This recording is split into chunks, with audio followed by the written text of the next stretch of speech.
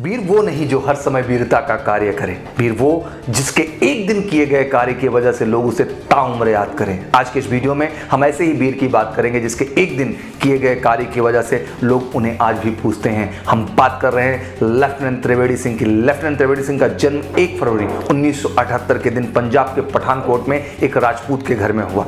उनके पिता जन्मेश सिंह भी भारतीय सेना का एक हिस्सा थे। त्रिवेदी पढ़ाई में काफ़ी अच्छे थे और इसी से उनका चयन भारतीय नौसेना में हो गया था। उनका यूनिफॉर्म तक सिल गया था, पर घर के इकलौते चिराग होने की वजह से उन्हें जाने से मना कर दिया गया। बड़ों की आज्ञा मानकर त्रिवेदी ने नौसेना ज्वाइन न करने का मन बना लिया, पर घर में कोई नहीं जान सका कि त्रिवेदी के मन में क्या है। घर वालों की बात मानकर उन्होंने पंजाब के एग्रीकल्चर यूनिवर्सिटी में एडमिशन लिया। कॉलेज में भी उनकी पढ़ाई काफ़ी अच्छी थी और उन्हें लगातार स्कॉलरशिप भी मिल रहे थे। उनकी पढ़ाई को देखकर लग रहा था कि उन्हें कोई बड़ी नौकरी मिल जाएगी। एक दिन घर वालों को पता चलता है कि त्रिवेणी ने भारतीय सेना की परीक्षा पास कर ली है और वो इंटरव्यू देने जा रहे हैं। उनका चयन पहले ही बार में हो गया। 28 दिसंबर 2001 के दिन वो सेना में कमीशन हुए और फाइव जैकलाई में शामिल हो गए। ट्रेनिंग के दौरान वो सीनियर्स और दोस्तों के सबके चहेते थे।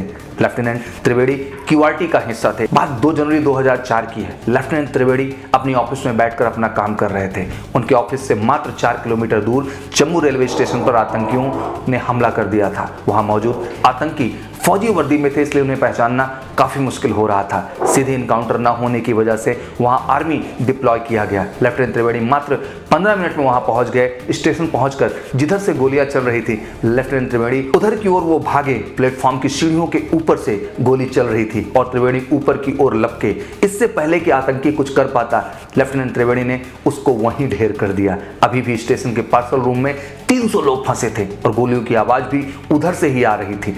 लेफ्टिनेंट त्रिवेदी उधर की ओर दौड़े। वहाँ मौजूद आतंकियों से उनकी मुठभेड़ शुरू हुई। मुठभेड़ के दौरान वो घायल भी हुए, फिर भी वो लड़ते रहे। उन्होंने सारे आतंकियों को मार दिया। एक आतंकी को मारकर जब वो उसके पास गए, तभी एक गोली उनके जबड़े से होकर सिर के पीछे हिस्से को फाड़कर निकल गई।